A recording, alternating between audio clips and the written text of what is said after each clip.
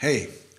Ja, idag eh, tänker jag berätta lite eh, vad jag har, eh, jag har hört eh, från mina vänner i Indien och också mina vänner i Kina.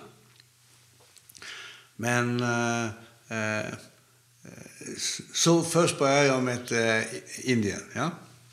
Ehm, ni kanske alla känner till att just nu, det här med covid-19, eller KKP-virus, ja, CCP-virus, eh, i Indien är mycket allvarlig.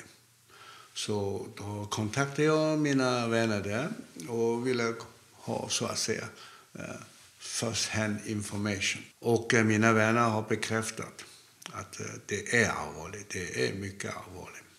Och det är sant att eh, statistiskt sett eh, var fjärde minut så dör en människa i Indien Eh, på grund av eh, den här epidemin. Och, eh, men han, en, en av mina vänner som är insatt i det här, han säger att det kunde ha varit bättre om inte den indiska regeringen var för tidigt glada och till och med stolta, som han kallade a false pride. En, en falsk stolthet. Eh, det beror på att eh, för några månader sedan då var Indien situation betydligt bättre än många andra länder. Och då ville eh, som många politiker göra, ta på sig äran. Och, och därmed har, har man liksom sagt att ja, vi har varit framgångsrika och vi, det dör mycket mindre människor och så vidare.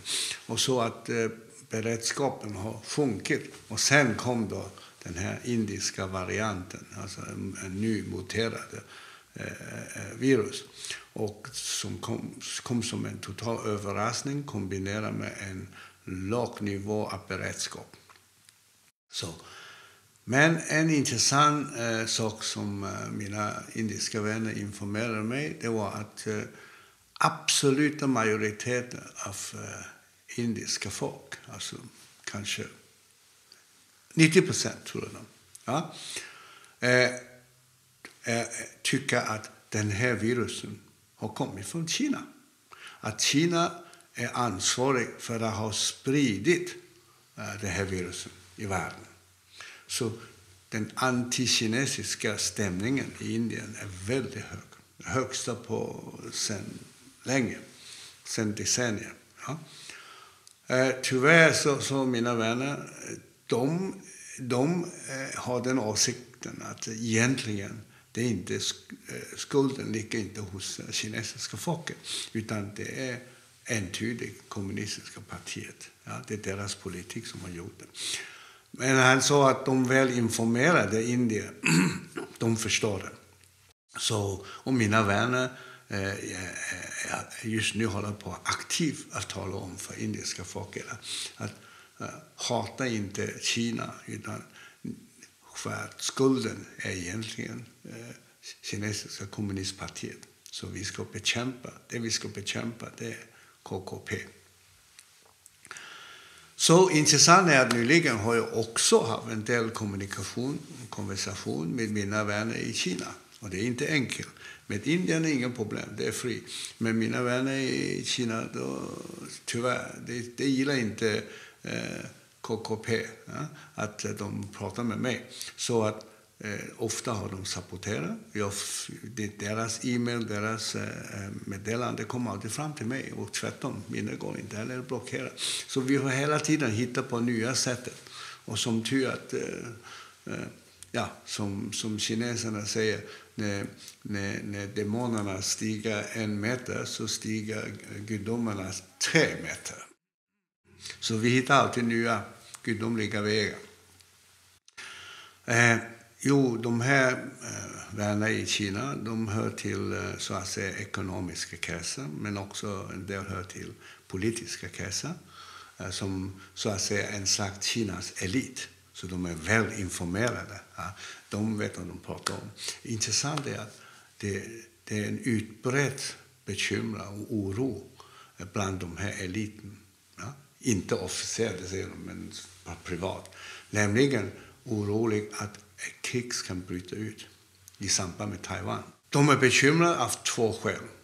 För det första, om kriget bryter ut, då är de rädda att det blir inte en krig mellan Kina och Taiwan, utan det blir en krig mellan Kina och Taiwan plus Amerika, Japan, England, Frankrike, Filippinerna, kanske till och med Tyskland. För att tyskarna också skickar nu krigsbåtar till det området, har man bestämt sig.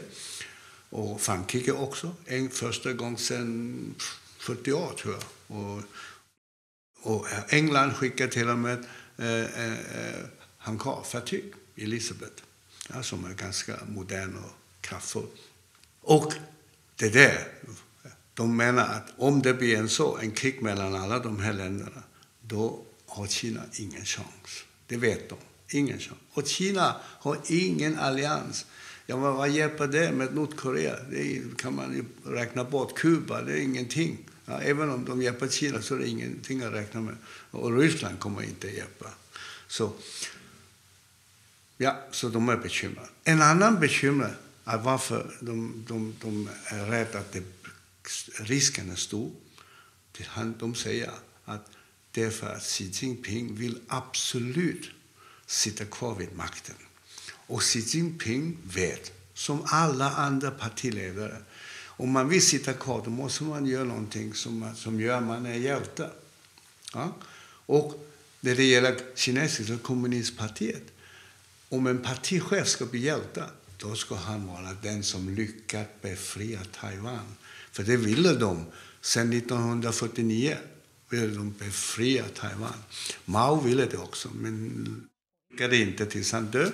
Deng Xiaoping ville också, men inte lyckades. Och Jiang Zemin ville också, men inte lyckat. Och Hu Jintao inte heller lyckat. Och nu Xi Jinping. Tänk om Xi Jinping lyckas! Wow! Ja, då blir han helgonförklarad. Vem vågar då föreslå att han får komma ner för makten? Så de är väldigt rädda för det här.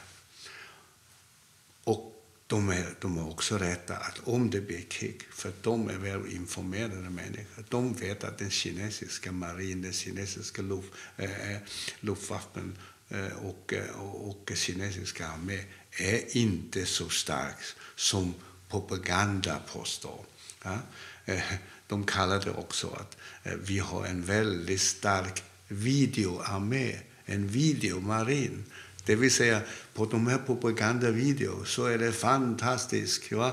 Till exempel, wow, det första kinesiskt gjorda eh, hankarfartyg Liaoling hon är framgångsrik och från Japan ända ner till Hainan sydkinesiska med. Va?